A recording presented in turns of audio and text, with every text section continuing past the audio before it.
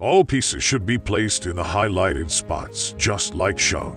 The attacker's goal is to capture the king from all four sides, while defending player need to move his king to safety. At one of the four special corner squares on the board that is reserved only for him.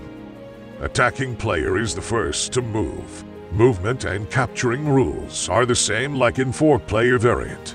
The special squares reserved for a king, his throne, and four corners can also be used to carry out the charge. There are many different rules in the traditional two-player version of Hnefatafl, but we've decided to use one which is called Copenhagen Rules. We've done so because they address some problems that most common rule set often misses. If the attackers surround the king and all remaining defenders, then they win, as they have prevented the king from escaping. Perpetual repetitions are forbidden. Any perpetual repetition results in a loss for the king. A player who is trapped and cannot move loses the game. Unlocking stretch goals will add new goals and figures of well-known characters from the Viking sagas.